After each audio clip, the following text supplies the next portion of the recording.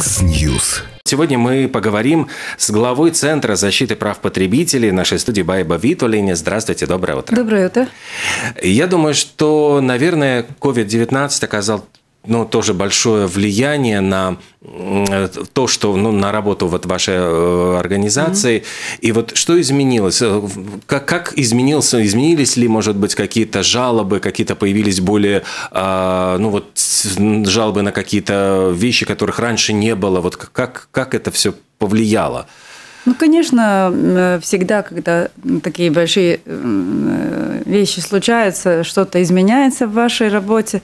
И в нашем случае, конечно, это было связано с теми услугами, которые потребители уже не могли получать.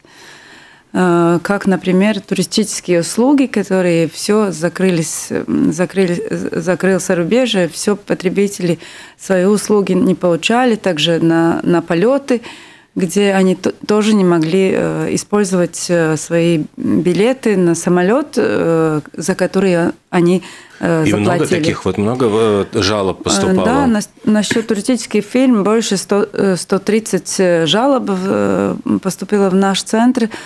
Э, потому что там, конечно, случаи очень эм, сложные. С одной стороны, мы, конечно, понимаем, что потребитель должен э, получить обратно те деньги, которые он заплатил за, эту услугу. Но с другой стороны, мы, конечно, также понимаем и предпринимателей, когда им э, весь бизнес в один день заключается, конечно, они в один день, как по закону, в 14 дней не может отплатить все деньги всем потребителям, поэтому это довольно сложно э, этих жалоб решать. Также, также э, парламент решал немножко в пользу предпринимателей, что они все-таки имеют право также предлагать вам отложить угу. вашу, вашу, ваше путешествие ну и, конечно, есть разные потребители. Есть те, которые хотят или которые, может быть, очень важно получить деньги э, сразу обратно. Есть такие, которые могут подождать и соглашаются подождать.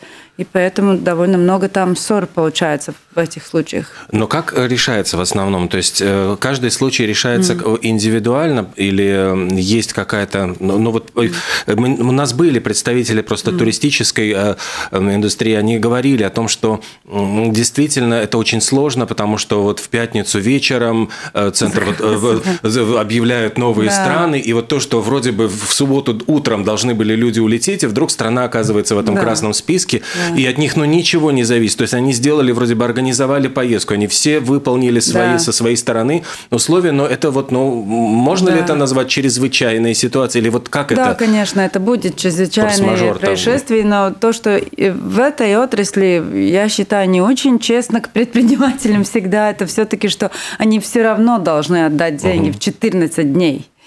Поэтому э, у них все равно это довольно, довольно сложно. Но, конечно, потребитель тоже э, не виноват в этой ситуации. И все эти ситуации действительно решаются очень индивидуально. Конечно, там всегда прав потребитель. Он, конечно, имеет право на, на возврат денег но там дальше надо уже, как это действительно практически возможно, потому что то, что невозможно, даже, например, э, по европейской регуле в авиауслугах они даже должны вернуть вам деньги в 7 дней.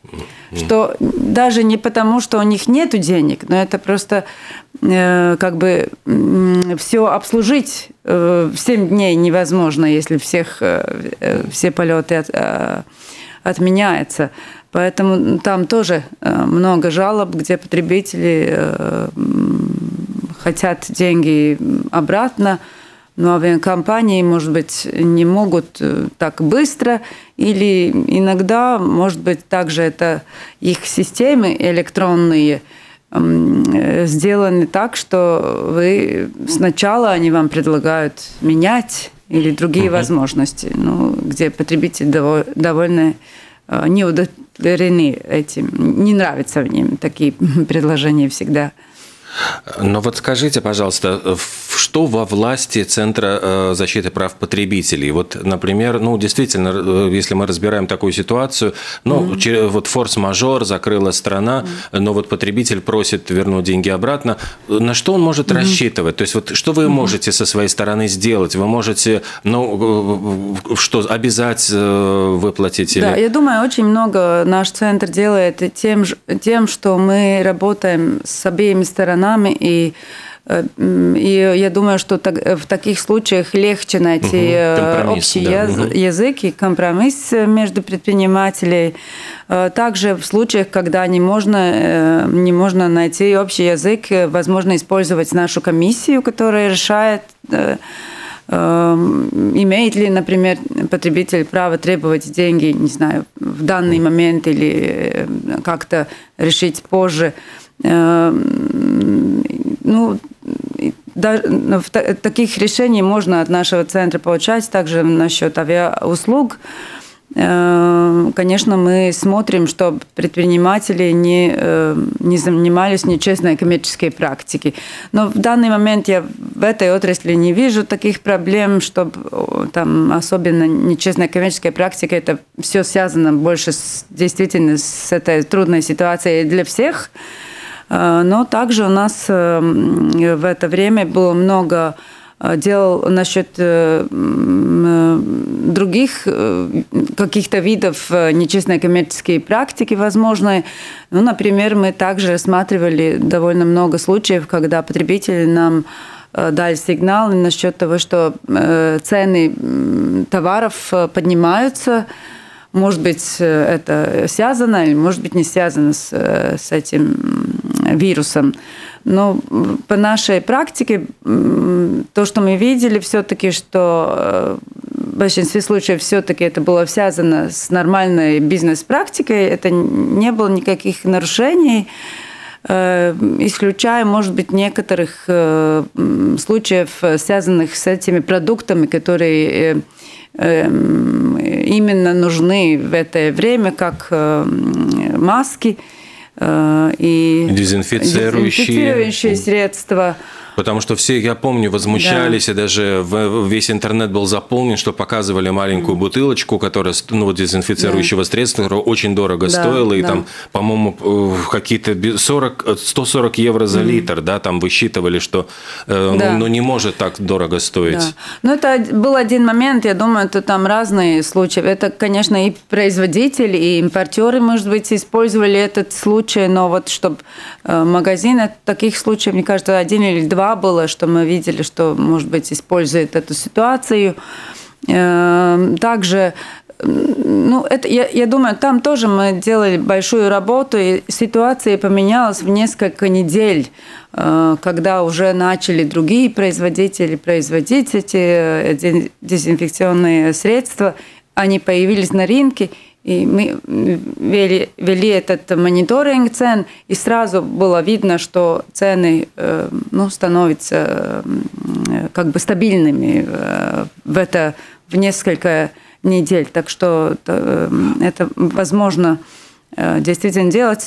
Проблема, которую мы там видели, было, что довольно много в, в интернете было дезинфекционные средства, которые не регистрированы. У них есть специальные требования, это э, биоциды, которые нельзя, э, нельзя без регистрирования вообще производить или, продавать. Э, ну и там у нас было несколько дел насчет нечестной коммерческой практики. И ну, в большинстве случаев надо сказать, что предприниматели это не делали, потому что они хотели как бы нарушать закон, но они просто не знали. Также, да, действительно, мы ну, все, все требовали, чтобы новые производители э, начали производить этих средств. Предприниматели, конечно, хотели этого делать, но не всегда знали э, все правила, что они должны регистрировать э, да, это. Да? Должны регистрировать, да. То есть здесь не было как бы злого умысла, Я это думаю, скорее просто. Нет, да. А вот скажите, например, э, такое, э, такого рода, когда э, очень начали рекламировать действительно всякие средства, э, которые помогают от коронавируса, которые, в общем-то, mm-hmm. не, ну, не проверенные, но тем не менее их mm-hmm. все время преподносили, что вот для того, чтобы защититься, или, например, mm-hmm. вот э, были э, рекламировали средства для чтобы сбросить вес да. по, по тем предлогам, что это люди с ожирением тоже в группе риска коронавируса, то есть пытались использовать коронавирус как рекламный какой-то вот да. трюк для того, чтобы продавать свои товары. Да, действительно, таких случаев было. Все эти, конечно, нечестная коммерческая практика, так, конечно, делать нельзя, особенно если используются какие-то ну, неправильно используется то, что, например, э, э, это мировая организация здоровья сказала насчет вот веса. Эм, да, действительно, были такие случаи. Были, например, э, посуда металлическая, которая помогает против вируса, и также разные, разные другие продукты. Э, где ни один, насколько я помню, из этих случаев не был, где предприниматель может э, доказать, что это действительно возможно, что этот продукт как-то будет вам Э, помогать, или, например, тест на COVID, который угу. вот э, действительно работает. То это действительно такие случаи были, да, в интернете. Я попрошу вас надеть наушники, чтобы услышать вопрос нашего слушателя. Напомню, что в нашей студии глава Центра защиты прав потребителей Байба Витулине. Здравствуйте, доброе утро. Э, добрый день, доброе утро. Сколько у меня секунд в эфире, чтобы Э, не перебивали, я хочу э, задать вопрос про э, вот этот COVID-19 и э, возврат э, денег э, на счет да. аэропорта. Вы можете, да, спокойно. Jūs, jūs varat latviski izdot savu jautājumu. jautājumu ja? Nu, Vai jūs? Nu, jūs domājat valsts valodā, nu, jā? Jā, jā nu, nu tāpēc, kā nē, saprotiet, jā. es jau esmu uzrakstījusi savu runu, jā, lai, uh mhm. -huh. nu, es mhm. tomēr uh -huh. Labi. uztraucos, uh -huh. jā, tāpēc es krieviski labāk uh mhm. -huh. runāšu. Un, uh, uh, я латышка, и, ну, смогу, э, ну, выбиться э, с мыслью, э, начать заикаться. Дайга man sauc, ja. И по теме. Я патриотка, и мы живем все-таки в Латвии, но у меня до сих пор возмущает поведение иностранных туристов, кто многократно оскверняли честь э, нашего символа свободы Милду. Памятник э, на бывшей улице Ленина, который э, не снесли, который как животные, кто отмечает границы, поскольку этот э, статуя показывает э, нашу э, демографическую способность. И тут э, нет ножниц.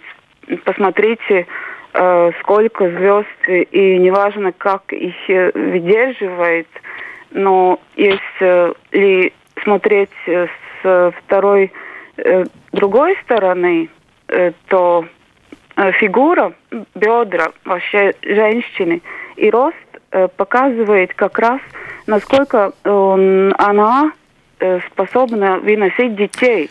Простите, но, наверное, но, это все-таки не по теме. Мы сегодня все-таки говорим это, о... Это, это насчет... Хорошо, это насчет э, туризма.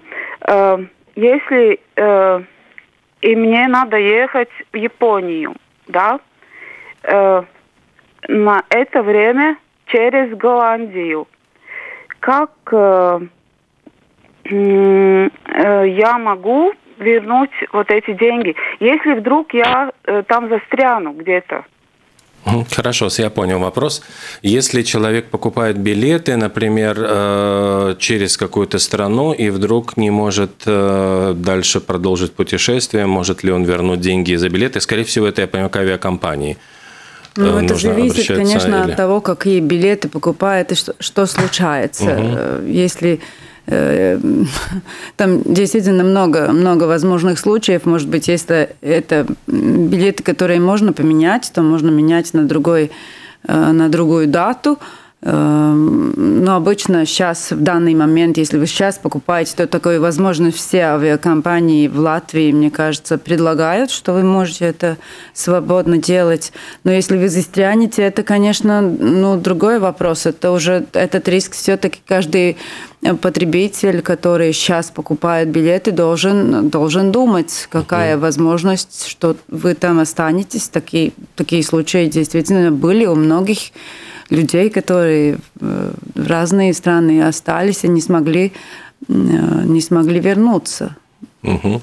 А вот мы не договорили еще просто по поводу продуктов, может быть, продукты питания. Не было ли э, жалоб на то, что подорожали, потому что э, особенно когда только началась, вот э, все бросились покупать да. там туалетную бумагу и какие-то основные продукты питания, да. были жалобы на то, что, например, и имбирь, чеснок, лимоны, тоже опять-таки продукты, которые да. укрепляют иммунитет, они очень резко подорожали далее.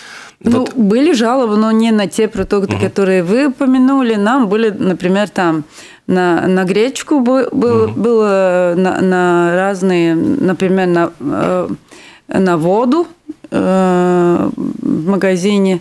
Но во всех этих случаях мы действительно рассматривали, почему предприниматель этого делал. делал. И в всех этих случаях то, что было видно, это не, не было связано с коронавирусом, это было уже как бы ну, например, насчет гречки, это было э, уже несколько месяцев перед этим, уже производитель э, информировал продавцов, что у него будет новые цены на, вот, на это продукты. И наш центр здесь, мы выбрали ну, такие продукты и делали мониторинг цен все это время и смотрели, чтобы эти цены не поднимались, и я могу уверить, что цены продуктов, тех, которых мы э, смотрели, э, никаких э, изменений серьезных, где можно видеть, что это действительно связано с коронавирусом, не, не ну, могли. Могли же быть там, например, то, что приходилось из-за того, что ну, были как перекрыты какие-то страны, может быть, там какие-то транспортные могли быть могли проблемы, быть, но это... Ну, но мы не видели не, таких не проблем, чтобы действительно не было продуктов. Я угу. думаю, вы тоже тоже видели да, в конечно, Латвии. Да. мы все. были очень, я думаю, наши э, продавцы также были очень, очень хорошо работали. Если что-то кончилось вечером, то утром это уже было в магазине туалетная бумага, бумага не было проблемы, я думаю, в Латвии. Э, да, мы продолжим принимать звонки. Я вас попрошу надеть наушники. Здравствуйте, доброе утро. Еще раз напоминаю, э, Байба Виталини, глава Центра защиты прав потребителей у нас в студии. Доброе утро. Доброе. А, у меня такой простой вопрос. Вчера в э, магазине, э, в одном из больших э, строительных магазинов видела фейс-маск, маски по 22 с копейками за коробочку. Вот как ваши гости прокомментируют э, э, такую цену на, ну вот все мы знаем, что такое маска одноразовая. Угу. Спасибо. А, да, вот я забыл, где, где в каком магазине. Да, ну трудно сказать, э, э, что, э, что это за продукты, сколько там маск было в, в этом. Раньше, когда не был COVID, вообще эти медицинские маски стоили 2, 2 евро за 100 маск. Угу. Поэтому по сути дела, это довольно дешевый продукт. Но, конечно, с, с, с тем, как вырос потребны эти э, угу. продукты. И цены, конечно, менялись. И в большинстве в данный момент мы видели где-то около уже евро, ну, 60 сантим одна стоила. Это, конечно, очень э, дорого. Поэтому э, то, что государство позволило, что это раньше такого, такого не было, были третьего вида продукты, которые не медицинские маски, но просто гигиенические маски, которые также производятся в Латвии. Можно Э, не только один раз, но больше, чем один раз э, надевать. И сейчас есть специальные требования также на этот третий вид, эм, который, ну, как бы не защищает, но э, все-таки помогает, ну, есть какая-то барьера между вами и другими людьми, чтобы это, это устранить. Так что, если это одна маска 22 цента, это недорого, я думаю, но это, конечно, надо смотреть на качество. Ну, в данный да, момент, вот а то, да. что были, ну, продолжают закупаться маски, которые действительно не должны использоваться в медицинских целях, ну, то есть да. их ну, даже запрещено, поскольку они не защищают там э, хирурга, ну, не, не могут допустить в да. такой маске к операции. Вот это это большая проблема, я считаю, э, в Латвии и Европе это действительно проблема, что у нас есть довольно строгие требования на все продукты, также на эти маски и респираторы. Э, но наша проблема в том, что почти они не производятся в Европе. Поэтому это в такой случае, э, в такой ситуации была вся Европа, что мы все-таки как бы ну, зависим от, от Китая, надо это признать. Поэтому и вся эта ситуация с, с масками случалась. Конечно, мы не рады на то, что есть третий вид, э, третий вид продуктов. Очень трудно, конечно, в этих случаях нам контролировать, чтобы медицинские маски были медицинские маски, чтобы потребители действительно понимали. Вот, вот да, эту, действительно, как эту, понять, эту, вот, потому что, ну, чтобы их не вводили в да, заблуждение, да. что эта маска ну, защищает, а, скажем, это вот, ну, это обязанность все-таки э, Там, конечно, должна быть, если это медицинская маска, тогда там должен быть, э, должно быть C-маркировка и должно быть написано, что это медицинская маска, только тогда можно э, говорить что-то насчет, что она помогает, но но даже первого вида медицинские маски, они ну, не, не сулит вам, что она а, действительно э, будет защищать вас от коронавируса. Это только так же, так же как гигиенические маски, все-таки они больше как барьера Эм, и ну, то, что насчет медицинских маск, вы должны их э, правильно использовать, и через два часа должны выбрасывать другой, э, другую маску, тогда уже угу. ну, следующий брать. Эм, гигиенические маски, ну, там есть возможность их э, все-таки использовать неоднократно. Продолжим принимать звонки. Угу. Да, пожалуйста, здравствуйте, вы в эфире.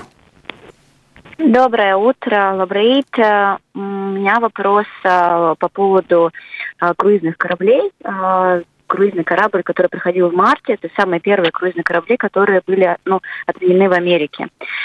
И очень много латышей тоже, латвийских семей, и просто с матерью встречались, мы были на этом круизном, и нас, нас вернули обратно. Деньги нам до сих пор не вернули, а, и уже прошло 6 месяцев а, больших обещаний. Я знаю, что американцам все было возвращено, и возвращено еще с купонами, и с дополнительными бонусными системами, а Европа осталась а, за большим бортом. И это МСЦ, круизные, лайнерские, огромная компания. Мы писали очень много самой компании, писали руководству, э, туроператор наш боролся, но сейчас уже 6 месяцев, и, а, в принципе, ну, никакой отдачи обратно они не делают. Ну, здесь такая небольшая дискриминация Европы и Америки. А, одна и та же авиаком... одна и та же круизная компания, да, а, и обещали нам, когда мы были в Америке, что нам все вернут э, в течение 60 дней. Угу.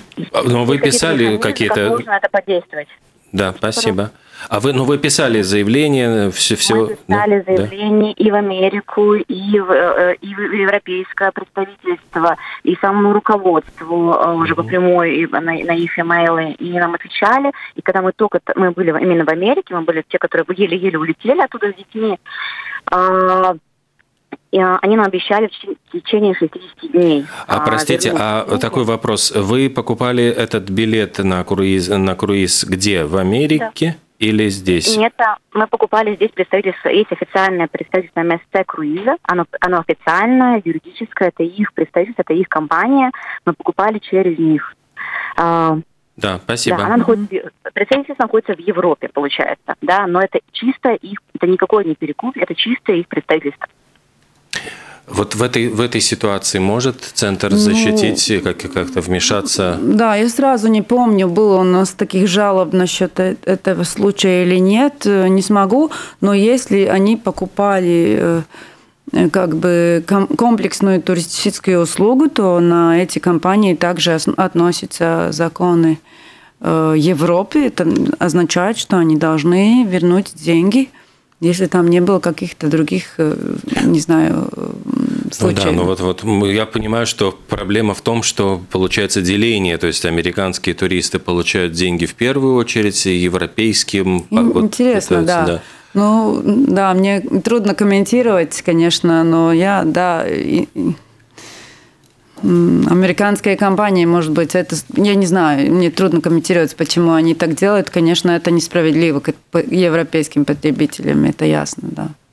А, Еще, наверное, одна категория вот жалоб э, на отмененные концерты. Я думаю, что это тоже такая большая да. тема. Вот э, когда был объявлен карантин, э, оказалось, ну, страны закрыли границы, были отменены очень многие Э, турне и концерты артистов, которые приезжали, э, должны да. были приехать в Латвию. Вот здесь не было ли тоже жалоб? Конечно, было. Э, конечно, было, но я думаю, что здесь все-таки потребители ну, понимают, понимали больше, мне кажется, эту ситуацию. И, э, и также закон э, не предназначает вам э, право получить деньги обратно, не знаю, в 7 или в 14 дней. По закону эти компании имеют право вам предложить эту услугу позже, когда заканчивается чрезвычайные обстоятельства, и потребитель имеет право получать эту услугу, но не сразу отказаться от нее, не сразу получать деньги. Поэтому это отло, ну, а, эти предприниматели могут больше отложить угу. эту проблему. В практике ну, мы больших проблем в этом не видим. Мы там сделаем специальные правила, как э, сколько должны ждать потребители. Так, мне кажется, было 6 месяцев. Э, они, если не будет этот э, э, концерт или другое предприятие не будет в течение 6 месяцев, тогда считается, что он не будет вообще, и тогда потребитель имеет право получить деньги обратно. Но в практике, я думаю, таких случаев, что не отдают, э, таких нету. Есть случаи, когда потребитель говорит, что он не может пойти на этот, и не хочет в другой раз, не хочет ждать, например. Я помню, что были у нас зарубежные потребители на фестиваль «Позитивус», который, конечно, невозможен mm. раньше, чем следующий год, что мы еще даже не знаем, будет ли следующий год или нет. Э, ну, есть, конечно, такие, которые э, не согласны, но мы считаем все-таки, что предприниматель э, сначала имеет право отложить и э, только в таких случаях, когда действительно потребитель не сможет пойти, тогда он имеет право на деньги обратно. Например, если э, какая-то, ну, зарубежные потребители, которые не смогут э, в Латвию пойти в концерты, или наоборот, вы э, сейчас в Латвии а будете, не знаю, учиться, например, в другой стране, стране, тогда есть случаи, когда мы считаем, что должны отдать деньги сразу, но в других случаях потребитель mm-hmm должен как бы э, идти в ту дату, которую ему предлагают. Продолжим принимать звонки. Здравствуйте, доброе утро. Э, здравствуйте. Да. А мне такой вопрос. Скажите, вот э, есть такой портал Судза БСЛВ, там, там пишут про всякие жалобы, да, но на самом деле нет, есть много знакомых, которые столкнулись с таким интернет-магазином, называется, по-моему, Профит торгуют электроникой и всякой другой техникой. Ну и сколько людей там не заказывали, они не получили свой товар, их кормят только обещаниями, что задержка, ковиды, поставщики, но в итоге ничего не получается. Деньги удается возвращать только после того, как или полиция вмешается, или тот же ВТАК, да. Но у меня такой вопрос другой. ВТАК не может, скажем, как-то на них повлиять и лишить лицензии или закрыть, потому что они возвращают деньги, да, если тот же ПТАК позвонит. Но много людей, скажем, там не обращаются в ПТАК или не знают, а они так и махиначат с этими ресурсами. Да. А какой вы еще раз сказали? Профит, да? Да, я знаю, да. магазин, ну, действительно. И второй вопрос. Вот женщина звонила по поводу этого круизного корабля. Я так вот не понял, а вы можете ей помочь или нет? То есть сами обратиться угу. и сделать. Потому что, в принципе, вы же государственный чиновник. Всем государственным чиновникам платят жители Латвии. Ну, как бы, мы все наемные да. угу. ну, понятно, да. государственные чиновники, да? То есть, ну, как бы, человек обратился, ну, наверное, надо им как-то помочь, а не так, что они должны вернуть. Ну, они должны, это должны. А другое дело, если вы позвоните официально, это как-то поможете людям. Угу, спасибо. Ну, я э, да. два вопроса. Значит, первый, вот действительно, да. может быть, э, ну, не говорить, ну, вот есть э, конкретные претензии вот к профиту, я зашел даже на страничку, но мы понимаем, что, наверное, выросли, выросли объемы продаж, ну, вот, интернет-магазинов, потому что, может быть, люди стали больше, ну, да, совершать покупать, покупки, да. покупать онлайн, и, наверное, конечно, выросло и количество тоже да. претензий, жалоб, что и у нас всегда каждый год есть такие виды случаи, где появляются интернет-магазины, которые не, не привозят вам товары, которые продают вам. Это интересные случаи, которые упомянули. Мы действительно получаем очень много жалоб. У нас больше 120 жалоб на, на этот один интернет-магазин. Э, действительно, наш центр очень э, считает, что это очень нечестная коммерческая практика. Этот, э, это, этот магазин вообще не, не работает с нами. Если правильно помню, они даже не отвечают на наши требований, потому что в каждое дело, когда нам потребитель пишет, мы каждый раз пишем компания, действительно вообще не рассматривает нормально потребительские жалобы. У нас начато дело насчет коммерческой практики, также будем или уже послали информацию э, полиции, чтобы рассматривали, нету ли там другого вида каких-то нарушений. Э, но, к сожалению, в Латвии нет такой системы, что есть лицензии, которые мы можем отобрать. Единственная наша, наша возможность – это э, или помогать, насколько можем, потребителям, или тогда уже э, принимать решение на коммерческую практику, или дать информацию полиции, которая единственная может действительно что-то делать, если там нечестные действия. Мы можем наложить штраф, но по практике мы знаем, что, что интернет-магазины тогда очень часто просто закрываются и делаются новые магазины. Что-то меняется. Э, как это выглядит э, в, этой, в этом случае тоже. Э, то, что мы можем помочь и стараемся все время потребителям рассказать, это чтобы они были бдительны, когда делали покупки.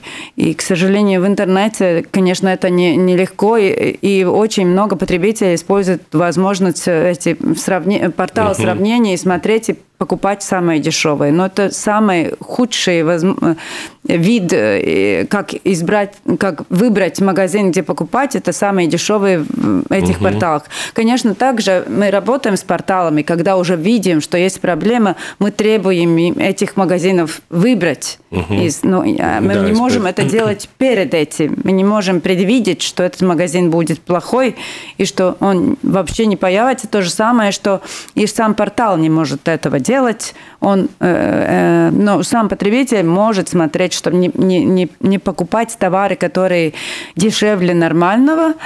И также э, мой личный совет всем потребителям, я уже всегда это говорю, не надо платить э, э, авансом, э, исключая возможность платить карточкой.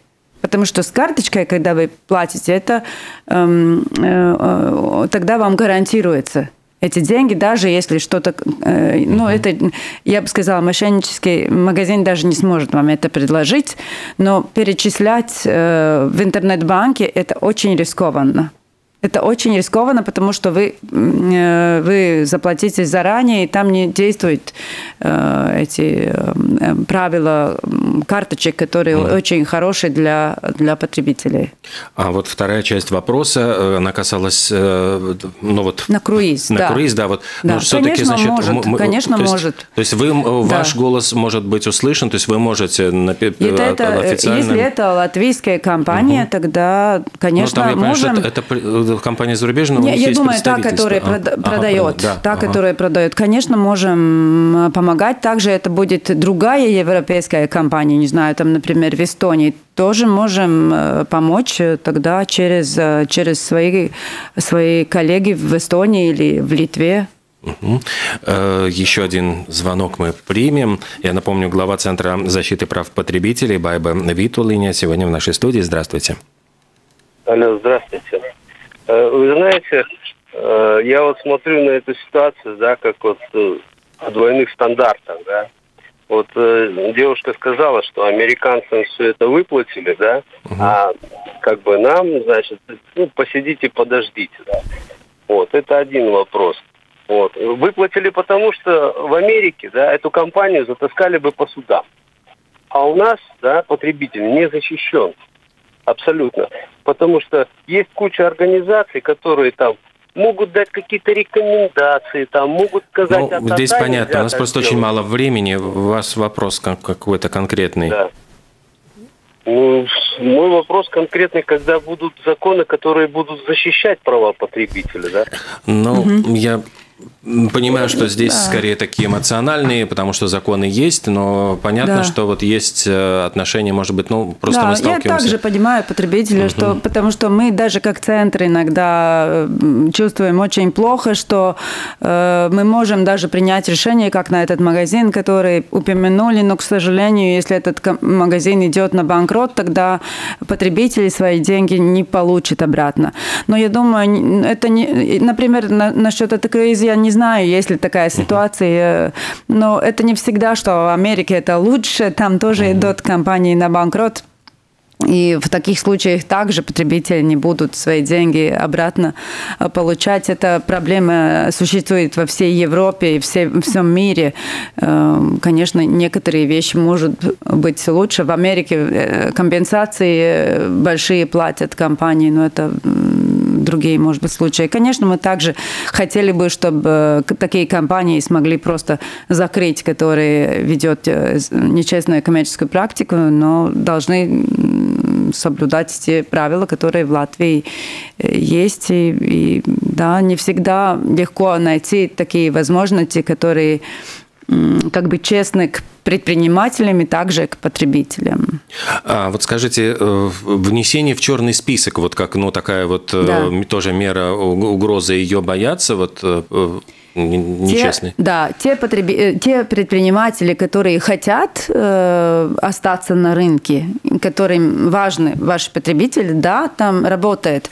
Этот список не будет работать на компании, которые, ну, э, это их э, вид бизнеса, что они один год, например, работают. Компания однодневки, дешевым, условно да, говоря, да, вот они открыли одна...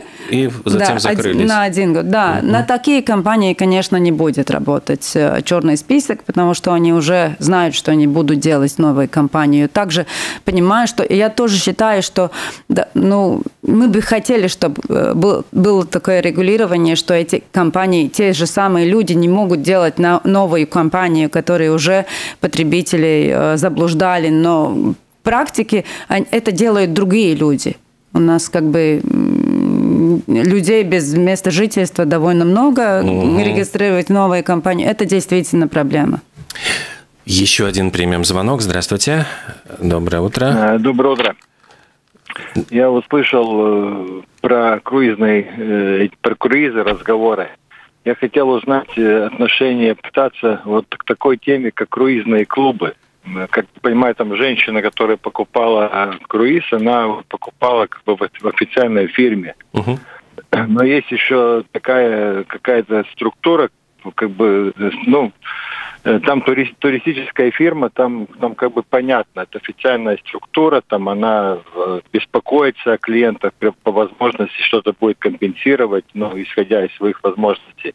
Но есть, скажем, такие круизные клубы, которые говорят, что вот эти официальные представительства, они накручивают деньги, что надо покупать через э, э эти круизные клубы, которые по своей сути пирамидой и их деятельность никак не регулируется. Это как бы нелегальная коммерческая практика, но они, скажем так, не дают тем же э, нормальным туристическим агентствам развиваться.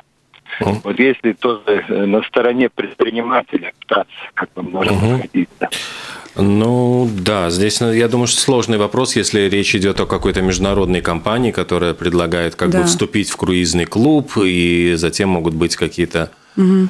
Ну, я, да, трудно комментировать, если, если все не, не знать, знать, но, например, э, по, по нашему закону запрещается нечестная коммерческая практика, э, и в этом включается, например, пирамиды, где этот бизнес делается только на того, что вы новых потребителей э, да, привлекаете, привлекаете да. но не продаете товар.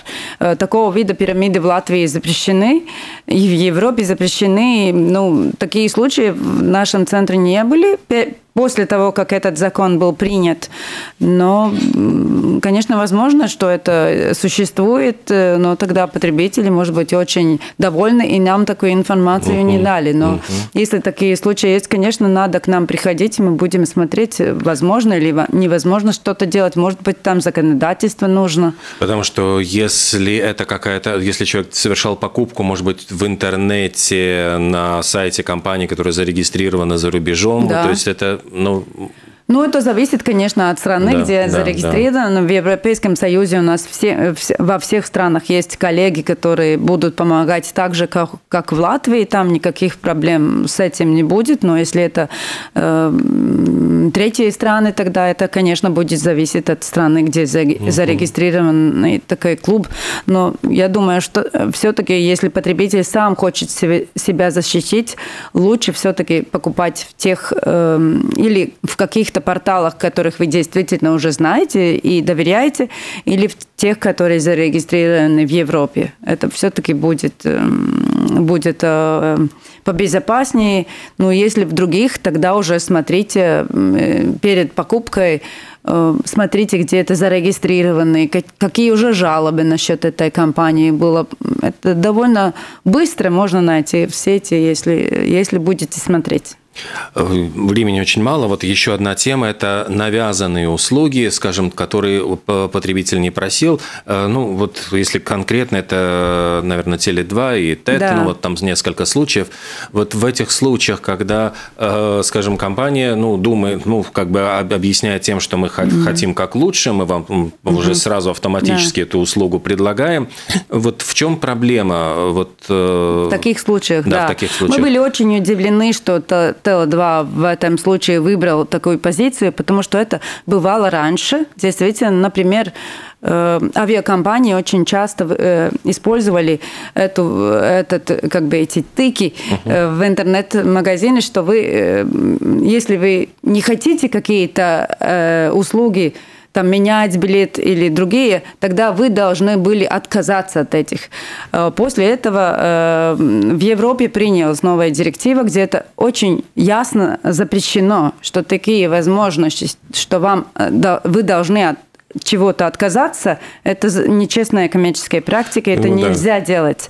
Поэтому мы удивлены были, что предприниматели, которые уже в этом рынке долго, э, такого, ну, я, я думаю, это вообще э, э, одни из самых э, важных прав потребителей реализовать его, э, э, его волю покупать то, что вы хотите, а не навязывать на вам то, что даже если это хороший продукт э, и хороший, я думаю, что это было довольно хорошее э, предложение из предпринимателя, э, со стороны предпринимателя, но такого вида продажи, где потребители должны отказаться, просто это запрещается.